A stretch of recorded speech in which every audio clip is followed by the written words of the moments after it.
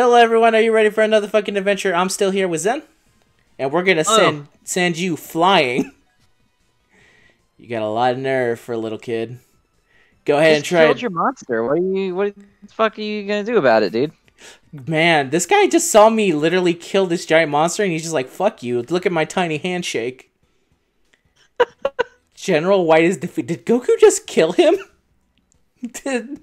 Uh, yeah, I think so. Off screen too. We didn't even get like a resolution. Wow.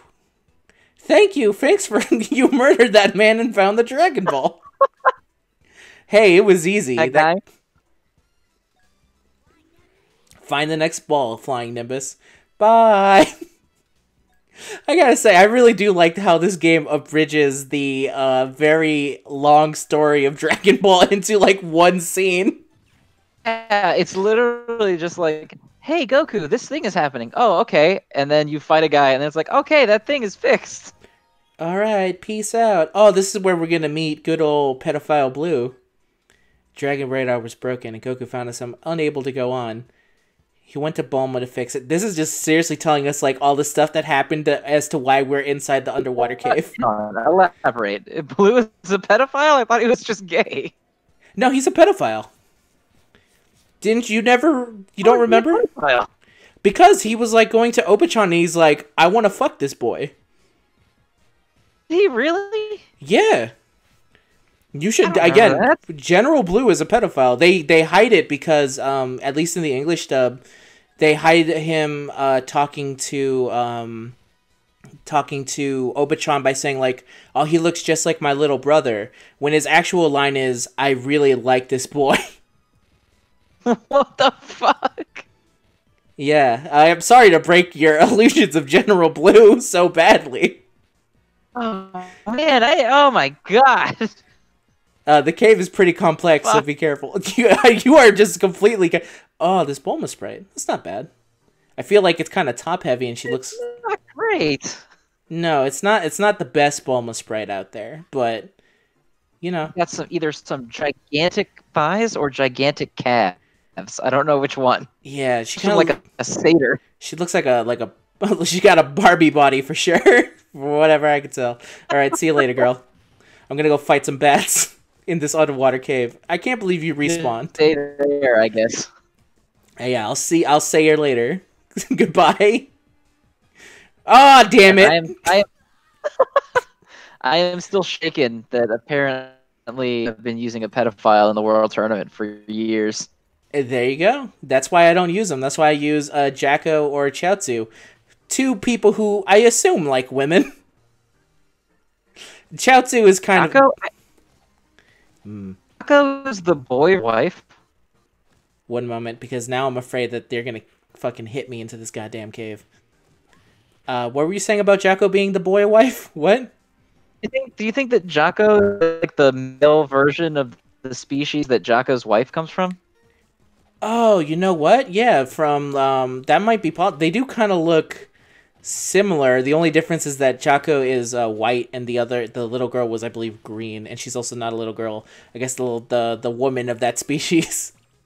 She might be a little girl. Maybe maybe Saiyans operate on Game of Thrones rules.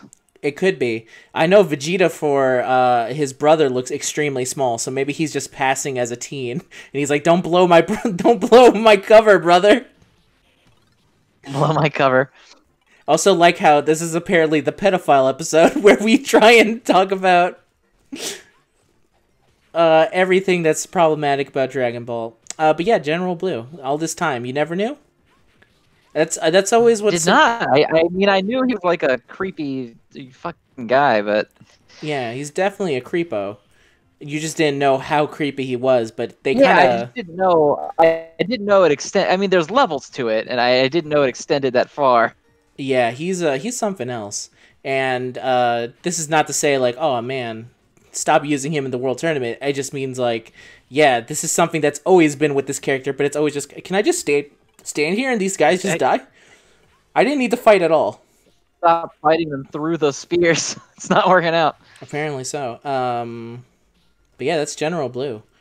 Uh, he's not a pedophile in um, Mystical Adventure, so therefore he that's the best role he's ever had because he's not he's not that. Uh, yeah. The the so that's why you shouldn't feel so bad when Tao fucking licks him Maybe to death. security cameras in this cave. Uh, yeah, I don't know, dude. Why did triggering that security camera not do anything? It's very bad security in this cave. This cave that is filled with bats and wolfmen. No Nothing wolves happened. yet. Oh the man, he was guarding that one burger, and now Goku has it.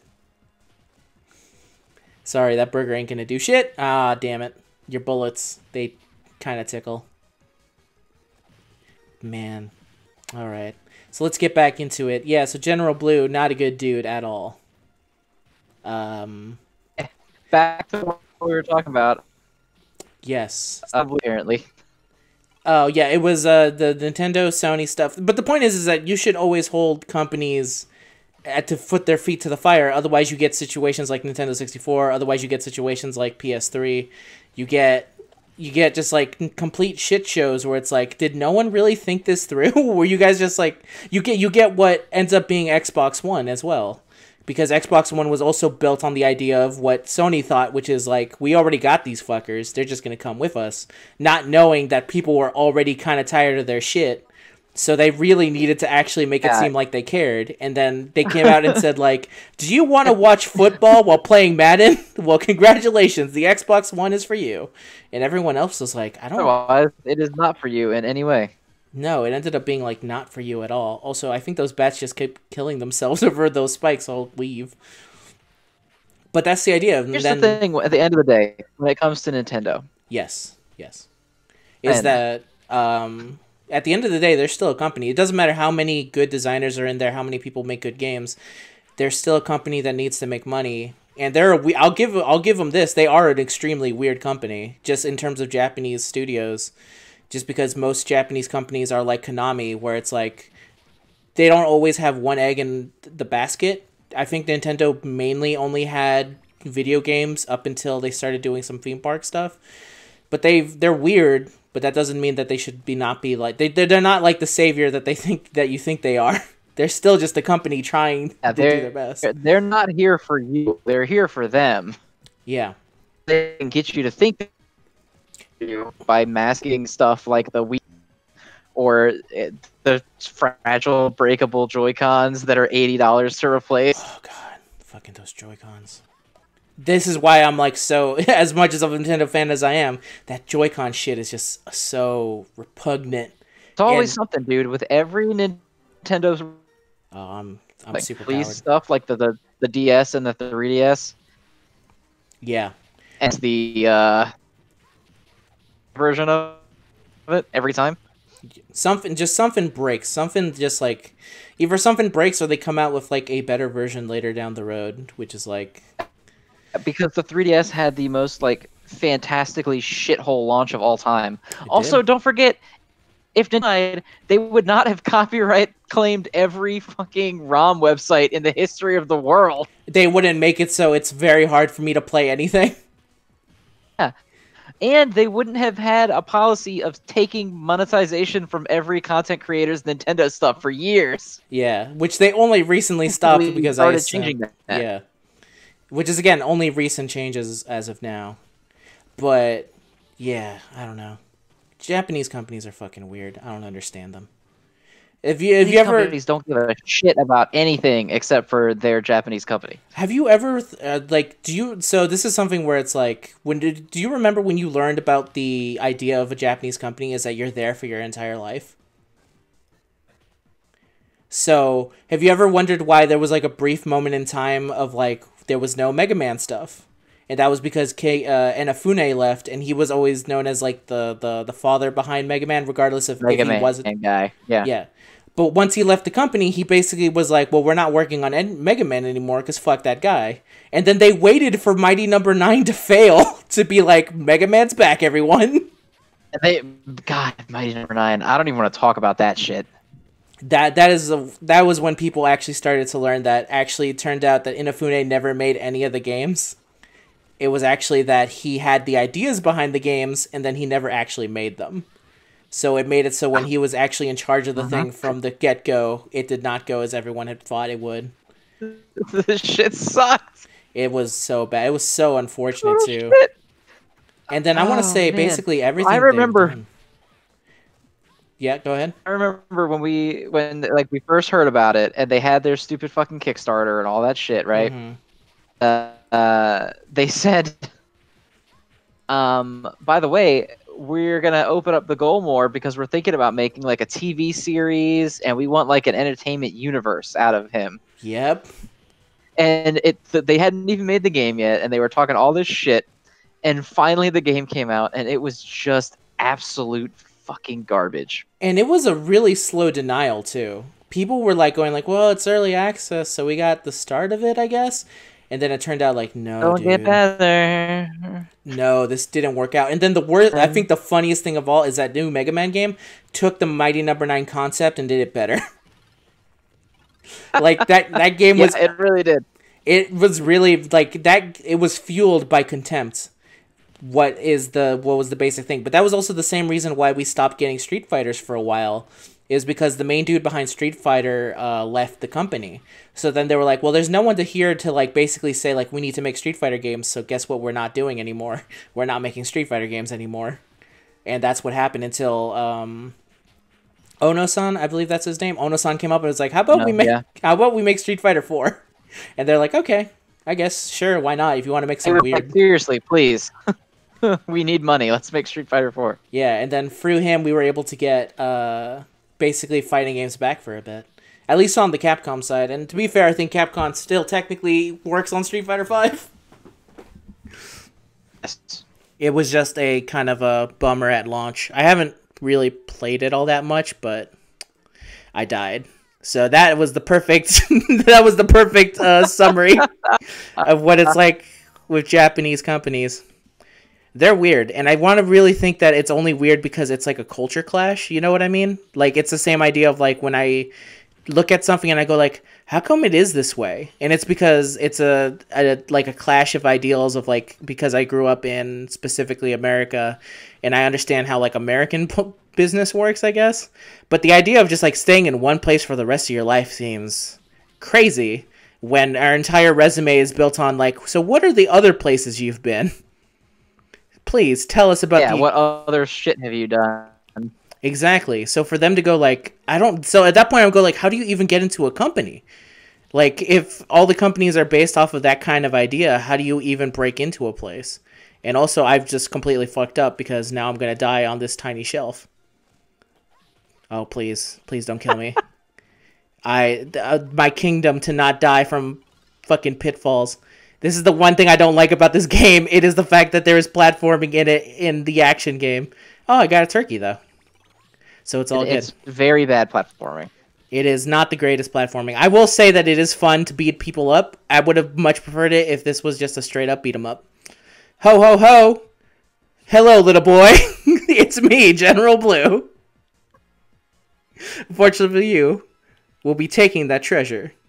Not you guys again. See, General Blue doesn't even get like a fucking screen. They understand that you don't need to deal with this asshole.